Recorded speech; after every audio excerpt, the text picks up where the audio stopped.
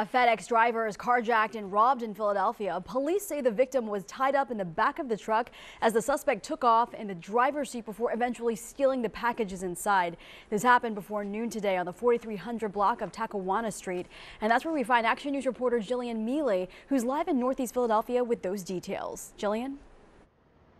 And that's right, Christy. And just a short time ago, police did say they are calling this a carjacking and robbery. And they say while the victim was tied up, he was actually able to make a phone call to someone he works with, one of his managers. We had a chance to talk to him. Listen.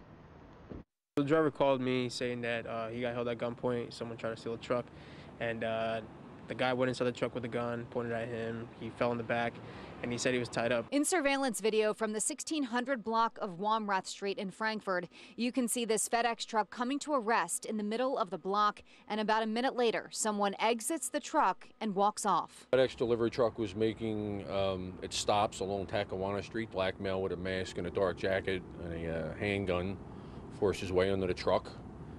Um, he tied the driver up with his belt, uh, drove the truck a few blocks down the street to approximately Womrath Street, uh, stole some packages and fled on foot. Chopper 6 was over the scene as the FedEx driver was able to walk out of the truck unharmed. That's pretty brazen, uh, and it's we're thankful that the FedEx driver is uninjured, uh, other than the trauma of being, you know, robbed point a gun.